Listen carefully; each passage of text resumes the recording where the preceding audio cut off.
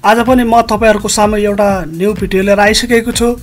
र आजको यस भिडियोमा पनि हामी एडिट मेनुको बारेमा कुरा गर्नेछौँ।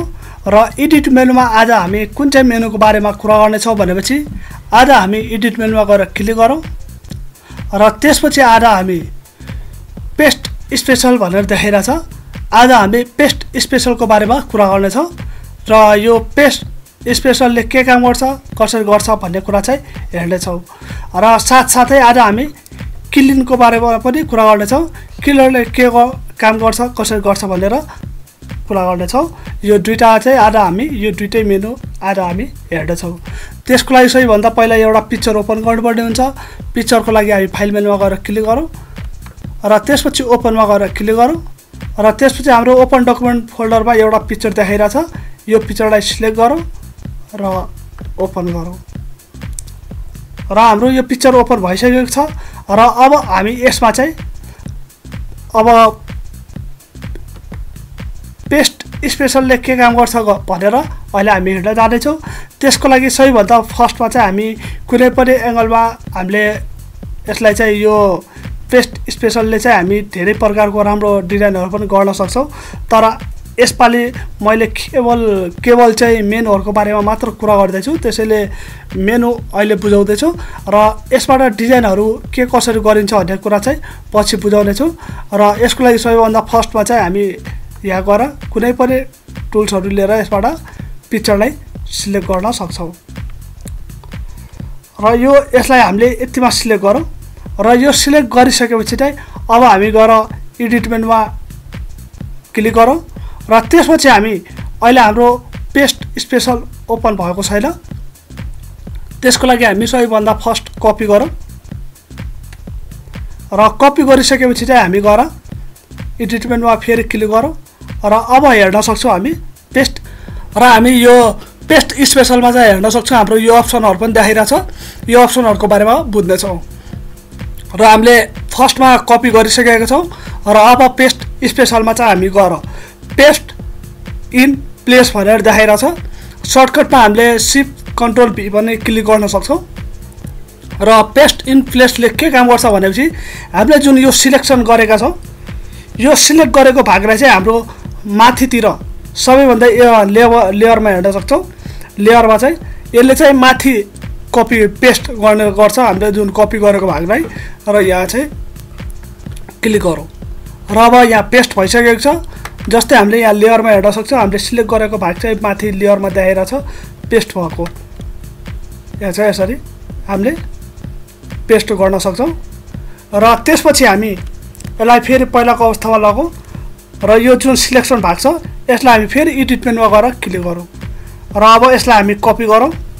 यो सिलेक्सन भागलाई हामीले कपी गरिसक्यौँ। र अब फेरि हामी गएर एडिट मेनुमा क्लिक गरौँ। र त्यसपछि यहाँ पेस्ट स्पेसलमा गएर पेस्ट इन्टु भनेर देखाइरहेछ सर्टकटमा हामीले अल सिप कन्ट्रोल भी पनि क्लिक गर्न सक्छौँ। तर यहाँ चाहिँ पेस्ट इन्टु भनेर देखाइरहेछ पेस्ट इन्टुको अर्थ के हो भनेपछि हामीले यसलाई चाहिँ यही पिक्चरको इनसाइडमा चाहिँ यसलाई पेस्ट गर्न सक्छौँ। यो जुन हामीले सिलेक्सन गरेका छौँ यो हाम्रो पिक्चर देखाइरहेछ यसको यो पिक्चरको चाहिँ भित्र यो चाहिँ पेस्ट हुनु चाहिँ हामीले गर्न सक्छौँ। पेस्ट इन्टुमा क्लिक गरौँ र अब चाहिँ हाम्रो यो पेस्ट इन्टु भइसकेको छ। यहाँ चाहिँ हामीले लेयरमा हेर्न सक्छौँ कस्तो प्रकारको भएको छ। र यसलाई मुभ गरेर हेरौँ। पिक्चरको हाम्रो भित्र चाहिँ यो चाहिँ पेस्ट भइसकेको छ। र अब यसलाई हामी फेरि पहिलाको अवस्थामा लगौँ। र अब यो जुन सिलेक्सन भाग देखाइरहेछ अब फेरि हामी गएर एडिट मेनुमा क्लिक गरौँ। र त्यसपछि पेस्ट स्टेसनमा गएर हाम्रो पेस्ट आउटसाइड भनेर देखाइरहेछ। यसलाई चाहिँ हामीले यो पिक्चर र यो हाम्रो जुन सिलेक्सन भाग छ यो दुइटैको बिचमा चाहिँ हामीले पेस्ट गर्न सक्छौँ। यसलाई चाहिँ यहाँबाट गएर क्लिक गरौँ। र अब हाम्रो पेस्ट भइसकेको छ यहाँ हामी हेर्न सक्छौँ। यहाँ चाहिँ हाम्रो पेस्ट भएको देखाइरहेछ।